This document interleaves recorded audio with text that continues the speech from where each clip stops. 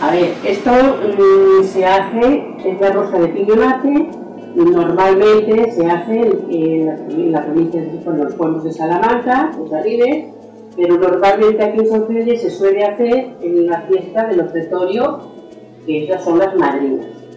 Y es bastante típico y conocida la rosca de piñonate.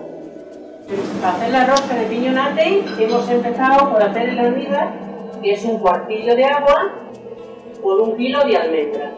Entonces esto hay que dejarlo cocer bien y una vez que ya está cocido empezamos a, a ir haciendo. Hacer la formarla, formarla. A ir haciendo el redondel de la rosca, que va así.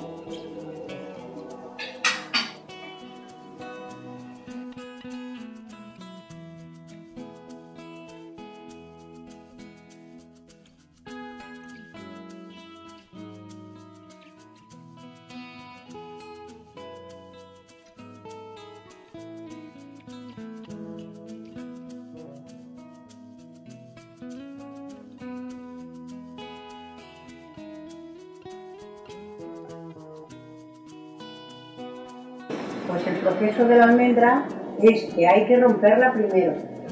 Después hay que quitarle la primera casca, pelarla con agua bien caliente para que luego después la se pueda, se pueda picar, la dejamos a secar y luego la picamos muy, hombre, ni muy muy muy fina ni muy gorda. Entonces luego ya se, se pone a secar después que está ya bien seca es cuando se empieza el proceso del arroz.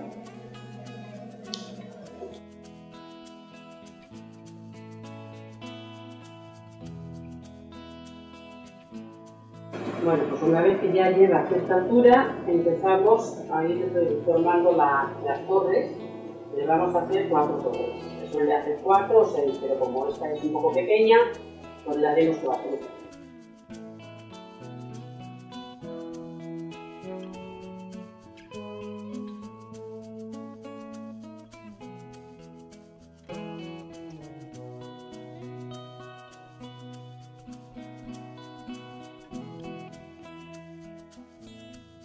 Ahora ya está terminada, la vamos a empezar a poner, eh, pues lo que Tenemos aquí algo, un arrocito.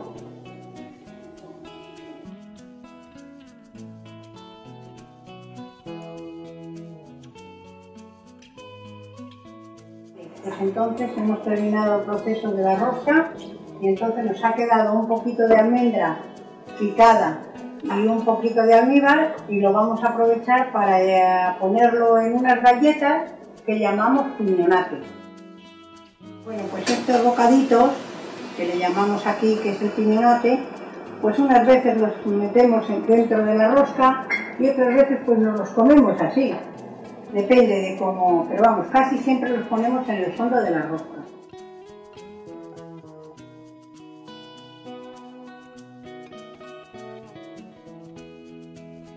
Pues esta es la rosca que hemos hecho un rocelle de piñonate. Lleva un cuartillo de agua, un kilo de almendra, un kilo de azúcar y luego las chuches. Y lo que nos ha quedado, pues lo hemos hecho en bocados que se llaman bocados de piñonate.